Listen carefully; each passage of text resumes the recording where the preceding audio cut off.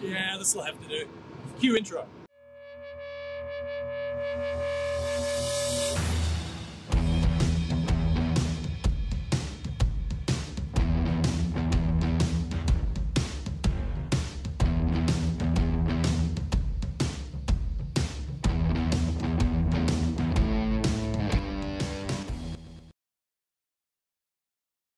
What's up, everybody? This is Gary from Hanson.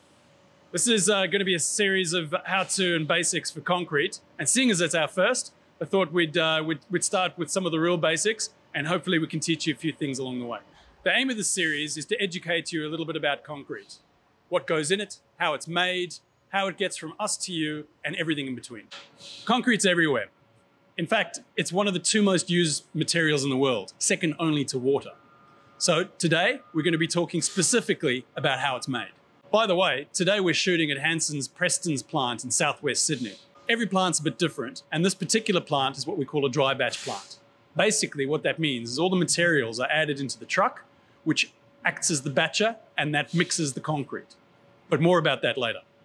Now, before we can batch concrete, we have to get all the raw materials together. So it's actually a little bit like a bakery. But instead of flour, we've got cement. Instead of nuts and fruit, we've got rocks and sand. And instead of yeast, we've got admixtures. And like a bakery, we've got water, which we make into a dough, which we can turn into thousands of different products. And we make a lot of it.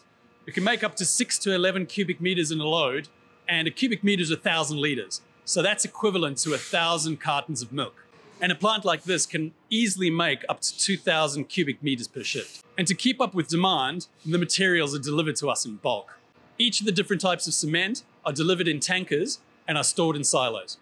Rock and sand are delivered in trucks, which are tipped into bins. They're also stored in overhead bins, which are near the silos so that loading can be done faster.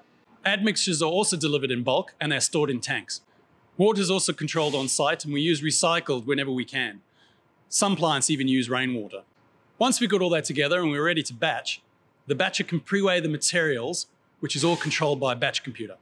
When ready, they're loaded into a truck where they're mixed, then checked before they hit the road to go to a job site.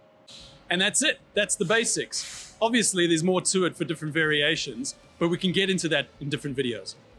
Okay, guys, so that's it for this video. Hopefully some of these points help. If you're thinking about doing some work with concrete or you're just interested in what else is possible, go to our website. I'll leave a link in the description below.